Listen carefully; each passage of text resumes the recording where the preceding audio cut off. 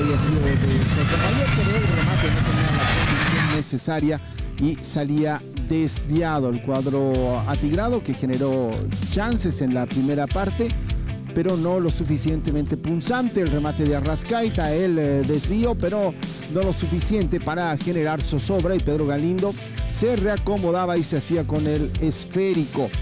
Pocas chances tuvo el conjunto de Tomayapo o de 10 tronques en la primera mitad. Casi todos fueron para el Tigre, como en esta llegada de Sotomayor, que gana el fondo bien, pero después termina encajonado y envía ese balón, pero sin una dirección clara.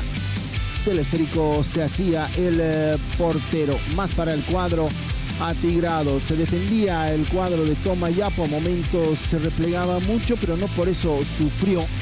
Uno sufrió también porque no estuvo acertado 10 trongues, como en este remate de Ursino, que llegando acompañando por detrás con panorama le entra mal al balón y este terminaba saliendo desviado. El cuadro de 10 trongues intentando volver a sumar partidos consecutivos con victoria. Venía de ganar a Palma Flor en casa en un contundente 4-0. Segunda mitad. Salió un poquito más alto en el campo de juego el conjunto de Tomayapo, también buscando los tres puntos. Tuvo esta chance. Pariani había ingresado en el campo de juego, luego tendría que salir eh, lesionado. David González tratando de dar las instrucciones. Ursino con el eh, centro, Triverio con el cabezazo, pero fácil para el portero Galindo. La segunda mitad se equiparó mucho el trámite de las acciones, la posición del balón, pero sobre todo se perdió en ambos profundidad a la hora de intentar llegar a portería.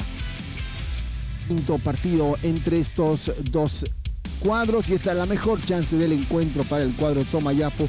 El balón cruzado de Jefiño y Graneros solo cabecea pero no le puede dar dirección al, al balón. Fácil para Billy Vizcarra este balón del mexicano López que ya estaba en el campo para Junior Arias que también había sido variante y el cabezazo es bueno pero tampoco lo suficiente para vencer la resistencia de Pedro Galindo cuadro de Die Strongest no podría ser mucho más y de esa manera se cerraba el partido con este empate a cero.